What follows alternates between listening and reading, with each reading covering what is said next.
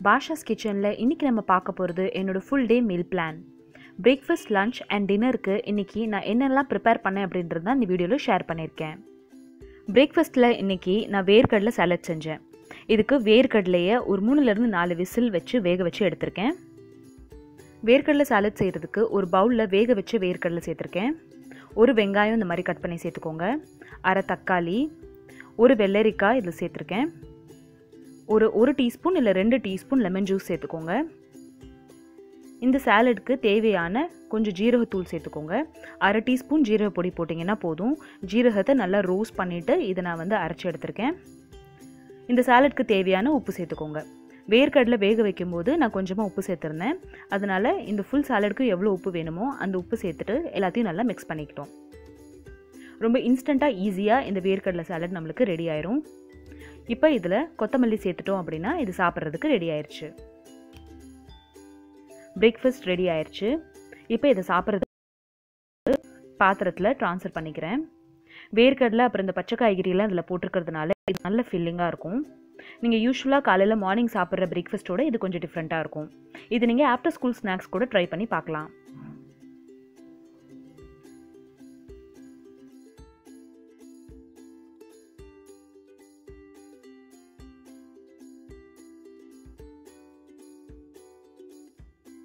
லஞ்சில் இன்றைக்கி நான் தேங்காய் சாதம் செஞ்சேன். இதுக்கு அரை முடி தேங்காய் எடுத்து இந்த மாதிரி துருவி எடுத்துக்க போகிறேன் சாப்பாடும் வேக வச்சு எடுத்திருக்கேன். தேங்காய் சாத்துக்கு ஒரு கப் தேங்காய் இந்த மாதிரி துருவி எடுத்து வச்சுருக்கேன். ரெண்டு டேபிள் ஸ்பூன் கடலைப்பருப்பு ரெண்டு மூணு காஞ்ச வத்தல் அப்புறம் கொஞ்சம் கருவேப்பிலை எடுத்து வச்சுருக்கேன். சாப்பாடு வேக வச்சு இந்த மாதிரி எடுத்து வச்சுருக்கேன். ஒரு கடாயில் கொஞ்சமாக தேங்காய் எண்ணெய் சேர்த்துக்கோங்க. எண்ணெய் சூடானதுக்கப்புறமா இதில் கடுகு சேர்த்துருக்கேன். இப்போ கடுகு வெடிச்சிருச்சு. கடலை பருப்பு சேர்த்துடலாம். எடுத்து வச்சுருக்க கருவேப்பிலையும் இதில் சேர்த்துருங்க. இது ரெண்டையும் ஒரு ரெண்டுலேருந்து மூணு நிமிஷம் நல்லா வதக்கிக்கோங்க. ஒரு ரெண்டுலேருந்து மூணு காஞ்ச வத்தல் இதில் சேர்த்துக்கலாம். உங்களுக்கு வேணும்னா இந்த ஸ்டேஜில் வந்து பெருங்காயத்தூள் சேர்த்துக்கலாம். ஆனால் நான் வந்து பெருங்காயத்தூள் சேர்த்துக்க மாட்டேன். இதையும் ஒரு ரெண்டு நிமிஷம் வதக்கலாம். இப்போ நம்மளோட கடலைப்பருப்பு நல்லா வறுந்துருச்சு. இப்போ இதை நம்ம வந்து ஒரு பிளேட்டில் மாற்றி வச்சிடலாம். அதே கடாயில் இப்போ நம்ம துருவி எடுத்து வச்சுருக்க தேங்காய் சேர்த்துக்கலாம்.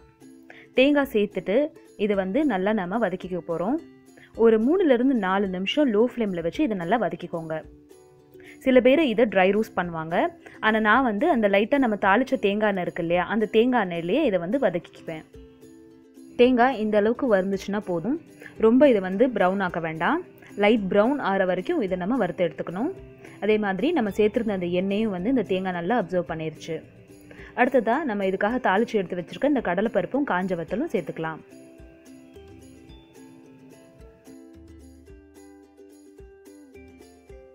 அடுத்ததாக இதில் நம்ம வேக வச்சுருக்கிற இந்த சாப்பாடை சேர்த்துக்கலாம். தேங்காய் சாதமாக இருக்கட்டும் இல்லை எந்த கலவை சாதம் செய்கிறதுக்குமே சாப்பாடு யூஸ்வலாக வேக வைக்கிறதோட கொஞ்சம் சீக்கிரமாக வேக வச்சு எடுத்துருங்க. நம்ம வந்து ஃப்ரைட் ரைஸ்க்கு எப்படி வேக வச்சு எடுப்போமோ அந்த அளவுக்கு நீங்கள் வேக வச்சு எடுக்கணும். அதே மாதிரி சாப்பாடு கிளறும் போது சாப்பாடு நல்லா ஆறிடுச்சா அப்படின்றதையும் பார்த்துக்கோங்க. சூடு சாப்பாடு போட்டு நீங்கள் கிளறினீங்கன்னா உங்களுக்கு உதிரி உதிரியாக வராது. சாப்பாடு வந்து கொஞ்சம் குழஞ்சு போன மாதிரி இருக்கும். அதனால் நீங்கள் வடித்த சாப்பாடை நல்லா வந்து இந்த மாதிரி ஆற வச்சுட்டு அதுக்கப்புறமா அதில் சேர்த்துக்கோங்க. இதே மாதிரி மிக்ஸ் பண்ணிவிட்டு ஒரு ரெண்டு நிமிஷத்தில் நான் ஃப்ளேம் ஆஃப் பண்ணிட்டேன். தேங்காய் சாதம் ரெடி ஆயிடுச்சு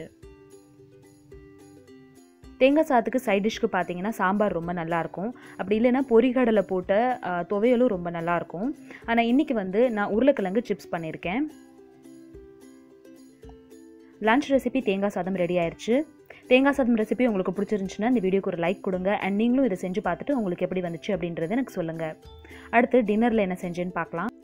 இன்றைக்கி டின்னரில் பார்த்தீங்கன்னா இட்லி செஞ்சுட்டு பாசிப்பருப்பு சாம்பார் பண்ணியிருக்கேன் இட்லி ஃபஸ்ட் டைம் பார்க்கும்போது வேகாமல் இருந்துச்சு.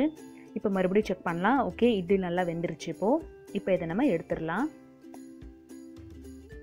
இட்லி தட்டில் இருந்து இட்லி எடுத்து இப்போ நான் ஹாட் பேக்கில் வச்சிட்ருக்கேன் தட்டில் இருந்து இட்லி எடுக்கும்போது எப்பயுமே வந்து அந்த தட்டு ஒரு அஞ்சு நிமிஷம் வெளியே இருந்துச்சு அப்படின்றத செக் பண்ணிக்கோங்க. அப்போ தான் அந்த இட்லி வந்து நம்மளுக்கு இந்த மாதிரி ஒட்டாமல் வரும். அதே மாதிரி இட்லி ஊற்றும் போதும் நீங்கள் வந்து இந்த தட்டில் கொஞ்சம் எண்ணெய் சேர்த்துக்கோங்க. அடுத்ததாக இப்போ நம்ம பாசிப்பருப்பு சாம்பார் தாளிச்சிடலாம். ஒரு கடாயில் ஒன்றரை டீஸ்பூன் நெய் சேர்த்துக்கோங்க. நெய் சூடானதுக்கப்புறமா அரை டீஸ்பூன் கடுகு சேர்த்துக்கிறேன். ஒரு கால் டீஸ்பூன் ஜீரகம் சேர்த்துக்கோங்க. கடுகு பொரிஞ்சதுக்கப்புறமா இந்த சாம்பாருக்கு தேவையான கருவேப்பிள்ளையும் ஒரு அரை வெங்காயமும் இந்த மாதிரி நீல நீளமாக நறுக்கி சேர்த்துக்கோங்க. ஒரு ரெண்டுலேருந்து மூணு நிமிஷம் கொஞ்சம் இதை வதங்க விடுங்க. இந்த பாசிப்பருப்பு சாம்பார் செய்கிறதுக்கு அரை கப் பாசிப்பருப்பை நான் ஒரு பத்து நிமிஷம் ஊற வச்சுட்டு குக்கரில் ஒரு வெங்காயம் ரெண்டு தக்காளி போட்டு கொஞ்சமாக உப்பு மஞ்சத்தூள் போட்டு வேக வச்சு எடுத்திருக்கேன். இதை ஒரு மத்தில் இந்த மாதிரி கடைஞ்சிட்டு கடாயில் சேர்த்துக்கலாம். கொஞ்சமாக தண்ணி விட்டு இப்போ நம்ம இதை கொதிக்க வைக்க போகிறோம் இந்த சாம்பாருக்கு நம்ம சாம்பார் பொடி போடக்கூடாது. வெறும் மிளகாத்தூள் தான் போடணும். அதே மாதிரி இந்த சாம்பாருக்கு நான் புளி சேர்த்துக்க மாட்டேன். அதுக்கு பதிலாக ஒரு தக்காளி எக்ஸ்ட்ரா சேர்த்துக்குவேன். ஒரு டீஸ்பூன் வெறும் மிளகாத்தூளும் உப்பு சேர்த்துட்டு ஒரு பத்து நிமிஷம் இதை கொதிக்க விட்டுட்டு கொத்தமல்லி போட்டு இறக்கிட்டோம் அப்படின்னா இந்த சாம்பார் ரெடி ஆயிடுச்சு பாசிப்பருப்பு சாம்பார் ரெடி ஆயிடுச்சு இதை இப்போ நம்ம டிஷ் அவுட் பண்ணிடலாம். பாசிப்பருப்பு இதே மாதிரி நீங்கள் சப்பாத்திக்கும் செய்யலாம். ஆனால் தாளிக்கும் போது சோம்பு சேர்த்துக்கோங்க. அதே மாதிரி இறக்கும் போது ஒரு டீஸ்பூன் கரம் மசாலா போட்டு இறக்கிருங்க. கரம் மசாலா போட்டு நீங்கள் செய்யும்போது அது சப்பாத்திக்கு நல்லாயிருக்கும். டின்னர் ரெசிபி இட்லி பாசிப்பருப்பு சாம்பார் ரெடி ஆயிடுச்சு இந்த ரெசிபி உங்களுக்கு பிடிச்சிருந்துச்சுன்னா இந்த வீடியோக்கு ஒரு லைக் கொடுங்க.